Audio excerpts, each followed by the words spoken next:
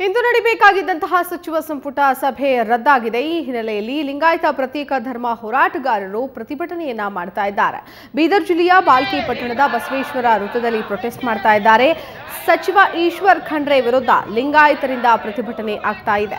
ಬೀದರ್ ಜಿಲ್ಲೆಯ ಬಾಲ್ಕಿ ಸಚಿವ ಈಶ್ವರ್ ಖಂಡ್ರೆ ಅವರ ಸ್ವಕ್ಷೇತ್ರ, ಸೊ ಅಲ್ಲಿ ಈ ಪ್ರತಿಭಟನೆಯನ್ನ ಮಾಡಲಾಗ್ತಾ ಇದೆ.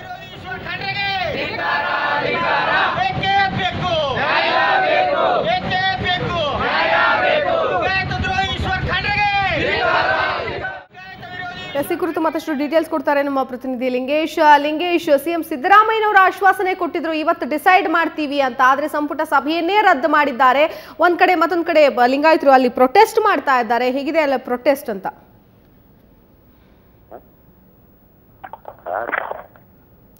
ಲಿಂಗೇಶ್ ಧ್ವನಿ ಕೇಳಿಸ್ತಾ ಇದ್ರೆ ಪ್ರೊಟೆಸ್ಟ್ ಮಾಡ್ಲಾಗ್ತಾ ಇದೆ. ಅಲ್ಲಿನ ಪರಿಸ್ಥಿತಿ ಹೇಗಿದೆ ಈಗ? ಏನ್ ಕಾರಣವನ್ನ ಇಟ್ಕೊಂಡು ಪ್ರೊಟೆಸ್ಟ್ ಮಾಡ್ತಾ ಇದ್ದಾರೆ ಅಂತ? ಏನು ಗೊತ್ತಿಲ್ಲ ಅಲ್ಲ.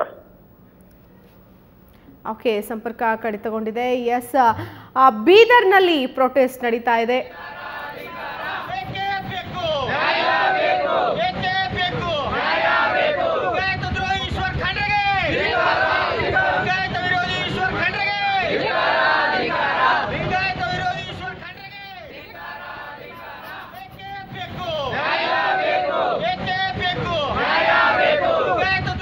ಸಿಎಂ ಸಿದ್ದರಾಮಯ್ಯಗೆ ಯಾವುದೇ ರೀತಿಯಾದಂತಹ ಜ್ವ- ಜ್ವರ ಇಲ್ಲ, ಅನಾರೋಗ್ಯ ಇಲ್ಲ, ಸುಖ ಸುಮ್ಮನೆ ಈ ಒಂದು ಸಭೆಯನ್ನ ರದ್ದು ಮಾಡಿದ್ದಾರೆ. ಅದು ಕೂಡ ಡಿಸಿಷನ್ ತೆಗೆದುಕೊಳ್ಬೇಕಾಗತ್ತೆ. ಯಾಕಂತಂದ್ರೆ ಕಾಂಗ್ರೆಸ್ ನಾಯಕರಲ್ಲೇ ಒಮ್ಮತ ಇಲ್ಲ. ಲಿಂಗಾಯತ ಪ್ರತ್ಯೇಕ ಧರ್ಮದ ವಿಚಾರಕ್ಕೆ ಸಂಬಂಧಪಟ್ಟಂತೆ ಸಾಕಷ್ಟು ಭಿನ್ನ ಅಭಿಪ್ರಾಯಗಳಿದೆ ಈ ಕುರಿತಾಗಿ ಈ ಡಿಸಿಷನ್ ತೆಗೆದುಕೊಂಡ್ರೆ ಎಲ್ಲಿ ಡ್ಯಾಮೇಜ್ ಆಗುತ್ತೋ ಅನ್ನೋ ಕಾರಣದಿಂದ ಸಿಎಂ ಸಿದ್ದರಾಮಯ್ಯನವರು ಈ ಡಿಸಿಷನ್ನ ತಗೊಂಡಿದ್ದಾರೆ. ಹಾಗಾಗಿ ಇದನ್ನ ವಿರೋಧಿಸಿ ಬಿಜೆಪಿ ಕೂಡ ಈಶ್ವರಪ್ಪನವರು ಕೂಡ ಹೇಳಿದ್ರು. ಸುಮ್ಮನೆ ಹೇಳ್ತಾ ಇದ್ದಾರೆ ಅಂತ ಇನ್ನು ಮತ್ತೊಂದು ಕಡೆ ಪ್ರೊಟೆಸ್ಟ್ ಕೂಡ ಮಾಡ್ತಾ ಇದ್ದಾರೆ ಬೀದರ್ನಲ್ಲಿ.